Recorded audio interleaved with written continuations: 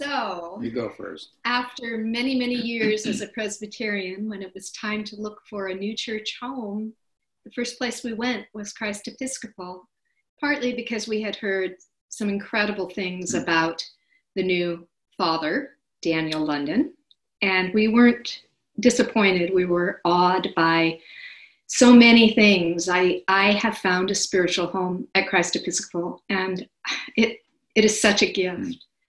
Uh, the, the warmth and authenticity of the congregation, the beauty of the music that David Powell puts together and that the organists give to us, what a gift. The outreach of the mission of the church, there's um, such a community involvement with Betty Chinn and with the feeding pr- program every month and with the foster child program.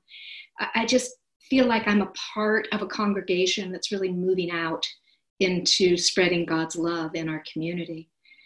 And um, I love the liturgy. The Episcopalian liturgy is uh, part of the lineage of Christianity held in the liturgy, and it connects me to the communion of saints, to the cloud of witnesses in a way that is really meaningful to me but I have to say that the thing that has um, most delighted me, besides the warmth of the congregation and all the people I want to know better, is the depth of the leadership. Uh, Father Daniel brings the vision and the energy and the enthusiasm of relative youth in the package of an old soul, uh, of a man who has wisdom that's really beyond his years. His scholarship is phenomenal.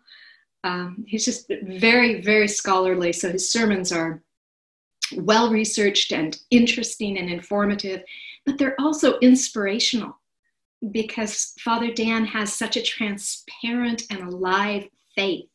And that, in my experience, is a really unusual combination for a scholar to be so alive in Jesus Christ that it comes together in something really powerful. So I find myself inspired by his leadership and wanting to walk behind him and beside him and uh, do what God's calling Christ Church to do in Humboldt County.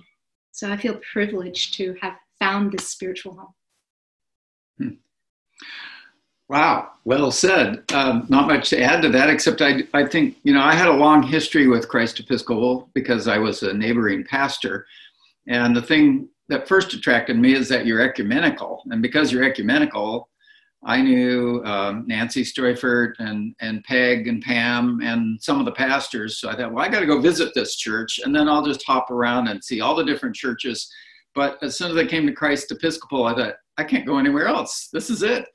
so the other thing that attracted me was how biblical the message is how biblical the worship is.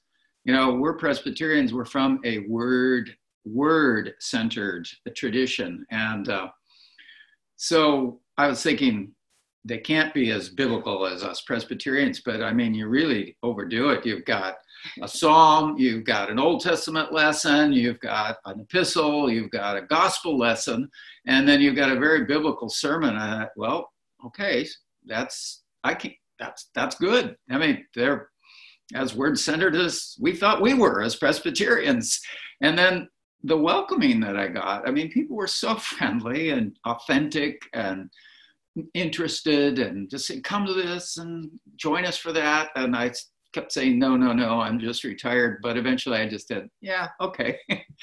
and uh, we're just both delighted to be there. We, we feel very much at home. And I only had to walk a block and a half to find a new church home, and we couldn't be happier.